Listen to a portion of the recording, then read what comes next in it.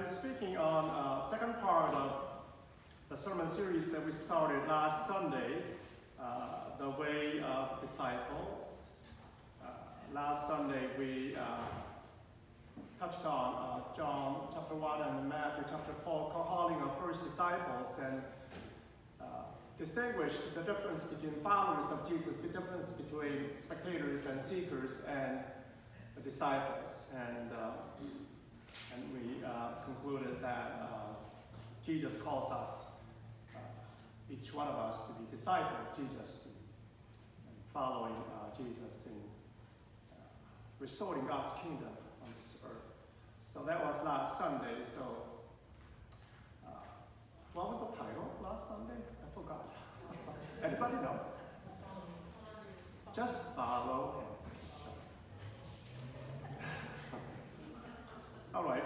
So, so this Sunday is the second part, the second movement in uh, uh, in the way of disciples, and we will be uh, uh speaking on two different parts from the Bible, from the book of Micah and also from uh, briefly touching on the book of Matthew, chapter 5, verses 1 to 12, uh, Beatitudes, quite well known passage. Uh, I'll be just briefly touching on that later today, which uh, I wouldn't mind to do some sort of mini series on that, but not today.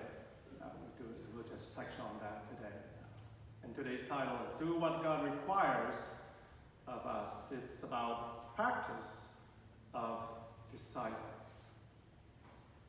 It's about 20 years ago, at the dawn of new decade and new century, a brand new uh, TV show captured people's attention worldwide, and the TV watching has never been the same. Survival. Remember that, folks? Survival. Remember that? So it's the first and arguably the most successful and longest running reality TV shows followed by uh, American Idol, The Bachelor, The Real Housewives, Big Brothers, Apprentice, just to name a few. Uh, the beginning of new era on TV watching. After 20 years, now the reality shows are going stronger than ever all around the world. The new ones just came out. I don't know uh, any of you watch this, but I haven't watched any of this, but I just pulled out the list. Temptation Island, Anybody seen that?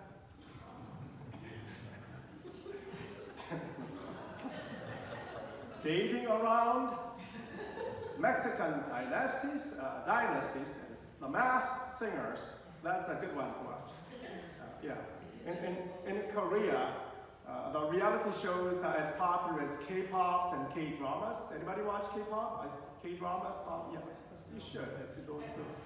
So my wife Sue, uh, she's not here this morning. Uh, she's hooked uh, with a Korean reality show about super cute kids aged between two to five growing up. She's prepping for being a grandparent.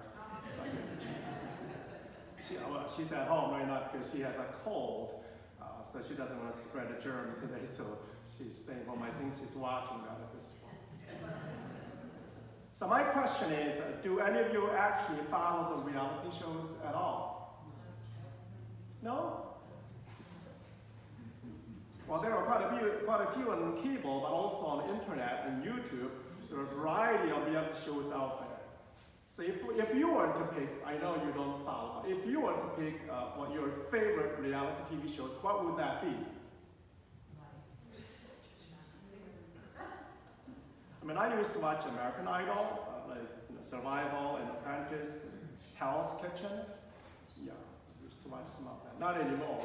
I haven't watched TV for a while. But anyway, many people are still tuned into reality shows. In fact, more than 7 million people viewed the last episode of the reality TV show last year, uh, Bachelor, last year. Now, what's our obsession with these reality shows on TV or on internet? Now, most reality shows are not about talented, successful people, except very few. There are hundreds of reality shows that are about people who have serious life issues, right? Serious breakdowns in their lives.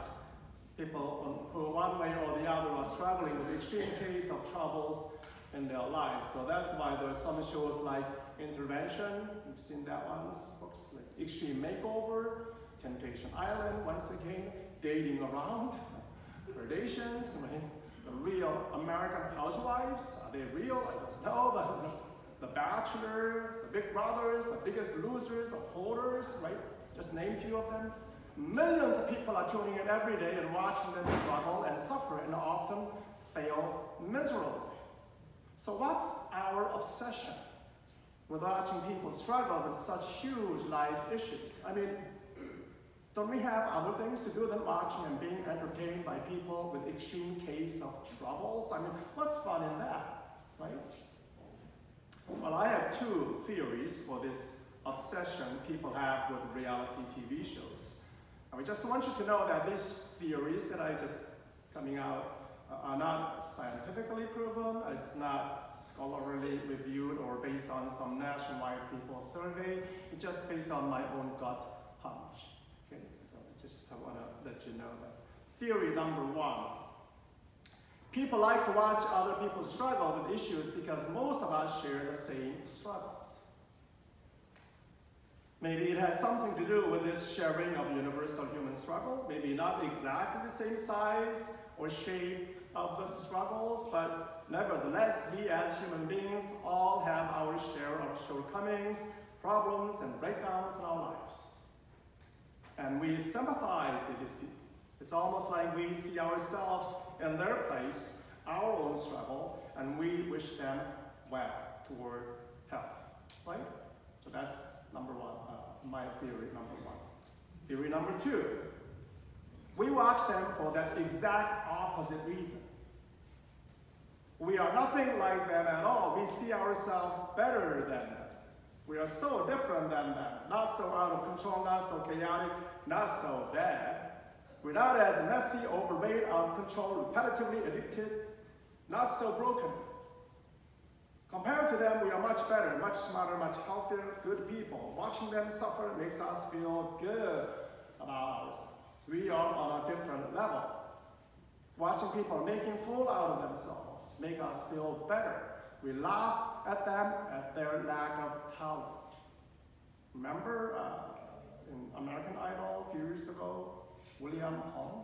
You know that? Remember that? Some of you too.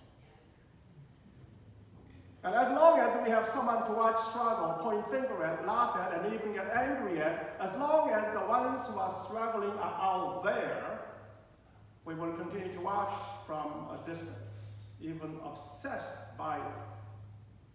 And what it does is that it, it distances us from our own fear of badness and brokenness and creates this false sense of security and goodness and for our goodness, we need to have someone to point finger at and laugh at and even get angry at. We are better than them.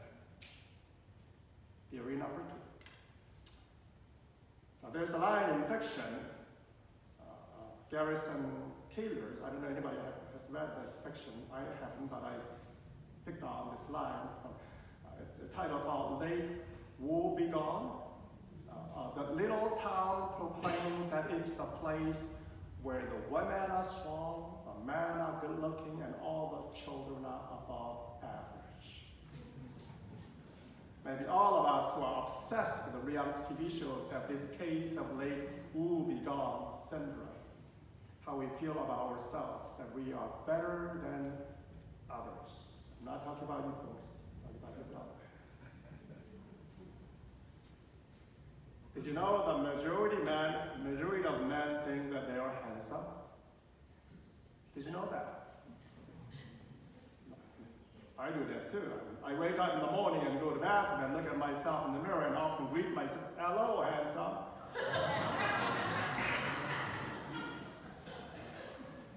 Don't you do that?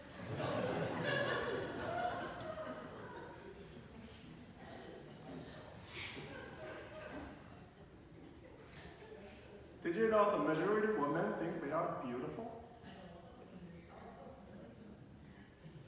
60% of students think they are in the top of 10%.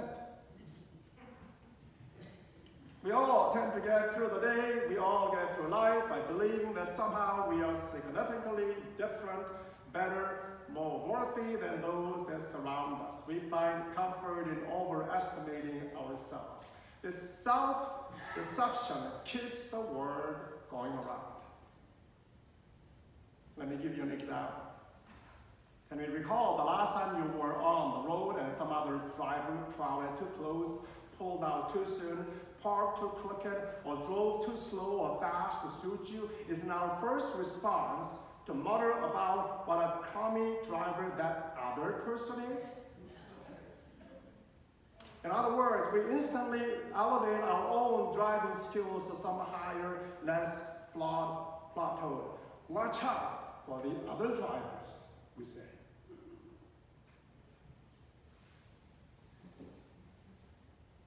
In today's Hebrew text, we read that the prophet Micah was charged with confronting a similarly smug, self-satisfied, and self-elevated people of Israel.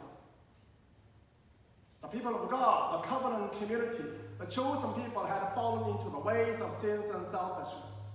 But they had no idea how far they had fallen, had no sense of self-awareness. And not only that, they even felt angry, felt this righteous indignation toward God for not saving them soon. They were in a deep self-delusion. Foreign nations and empires were constantly threatening Israel from all sides, and God repeatedly warned them of their sinfulness through the prophets to repent and turn around. But over and over, they ignored the warnings and even confronted God with a defiant attitude why don't you save us? So Micah reminded them of God's saving acts, how God had liberated them from Egypt. God has been faithful to Israel many times over, and it's time for you to respond in faith. But still, Israel doesn't seem to get it. They still thought they were good, better, and deserved some kind of favor from God, and smirked at the warnings by saying, in this, in this passage, by saying, Say what, God? What do you want, God? Thousands of rams? 10,000 rivers of oil? Maybe what you really want is the death of our firstborn. Will that satisfy you, God? What do we have to do to please you? Say what?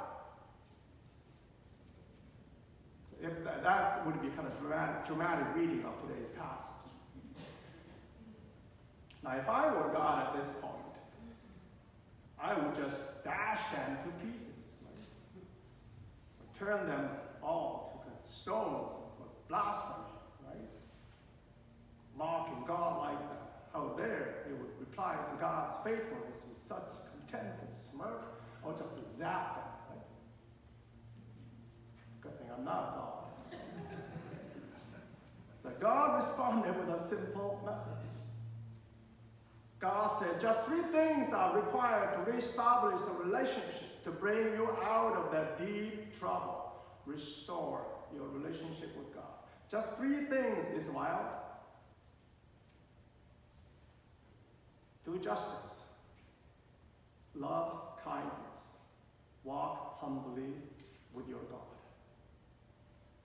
Only that, God says. I'm not asking much, Israel, only this. Only make every facet of your lives, every institution in your communities, every encounter you have with others be defined by justice, by covenant love, and by walk humbly with God. Now suddenly we begin to realize what God really wants, what God really requires from us is not to bring something to God, but to be transformed and to lead a transformed life. What God requires of Israel and of us is much more than something we offer to God, but to transform our lives into a genuine expression of what a genuine expression of justice, covenant love, and walking humbly with God. And this is kind of living God expects from his people. God doesn't need a thousand rams, 10,000 rivers of oil. I mean, how absurd. Our God is not some kind of local, tribal, angry God that demands some kind of religious, cultic offering, human sacrifice to appease his anger that we read from some remote, local, primitive, cultic, pagan religions.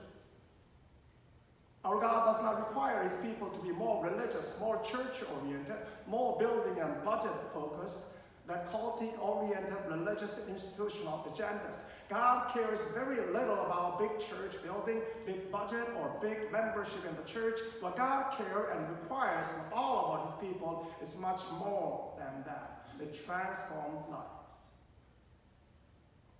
Doing justice.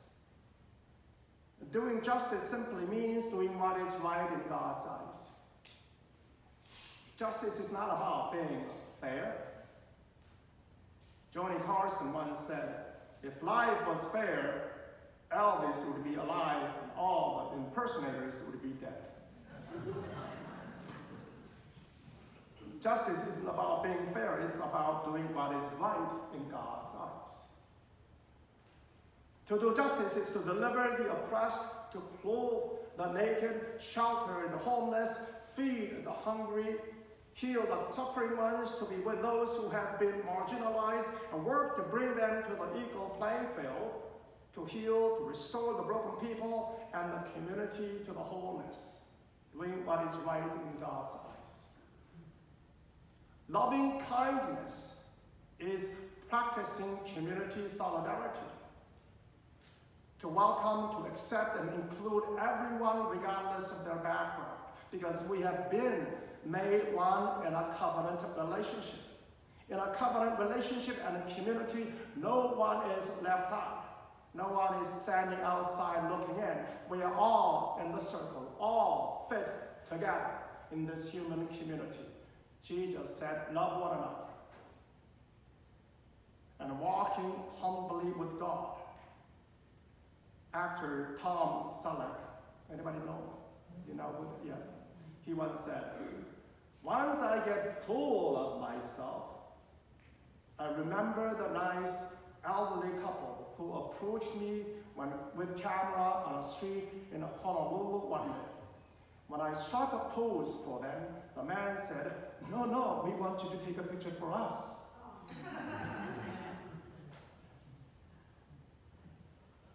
Ultimately, walking humbly with God means to give your control over to God. It's as much of our inner attitude as our life action. Understanding that once we have, been, we have entered into the discipleship, we are not ours anymore. We are not in control of our lives. We yield to God. We ask God. We let God lead us. We say, Your will be done on earth as it is in heaven. Let's turn to our second uh, reading today in Matthew chapter 5. Last week I said there are three stages following Jesus, or three types of followers of Jesus spectators and seekers and disciples. Jesus called his first disciples, and the next thing he does in our New Testament reading from Matthew chapter 5 is to giving them a simple message of what it means to live a life of disciples. He says, this is how I want you to live your life, sort of set a standard of practice for the disciples to live by. This is what I expect and require you to practice as my disciples, which will lead you to truly blessed life, beatitudes, a set of eight practices for disciples. Blessed are poor, blessed are those who are grieving, and peacemakers, and on and on. So if you have some time, I really ask you to not only read this over, but do kind of deep reflection on this. All eight blessings are nothing like what we would consider uh, to lead us in blessed and happy life in this world. Because they're just exactly opposite of what we consider to lead us happiness. I have, once again, I hope I have an opportunity in, in the future to do some ministries and just on beatitudes. But for now, I encourage you to reflect on them. So these are the standards of practice for the disciples of Jesus, for the community of disciples of Jesus Christ. What God wants from us and what God will judge us by isn't how big did you get, how well did you worship, how excellent were your church program. But to do what God requires justice, kindness, and humility. And blessed are they. This is the second movement in the way of disciple.